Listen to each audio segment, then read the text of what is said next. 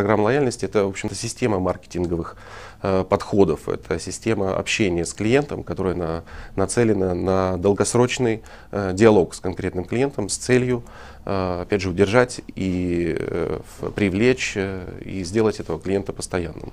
На мой взгляд, у большинства банков, а там, в том же самом Петербурге 175 э, банков работает, э, и э, большинство из тех банков, которые работают с физическими лицами-заемщиками, используют данный продукт. Мы провели такой анализ по работе в Петербурге, и порядка 30% выданных потребительских кредитов – это повторные клиенты, то есть это использовалась та база лояльных клиентов, которые уже являлись нашими клиентами и имеют положительную кредитную историю.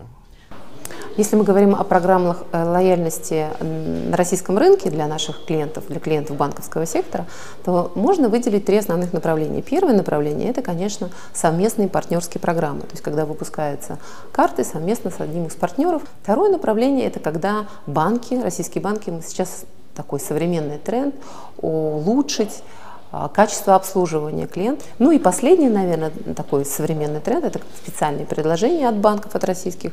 Но в частности сейчас а, у нас предложение по кредитным картам, на, когда беспроцентный период составляет 100 дней. Если говорить о программах лояльности на российском рынке, то моя точка зрения, что да, этот, этот э, э, степень влияния будет усиливаться, потому что ну, клиентов уже ничем не удивишь.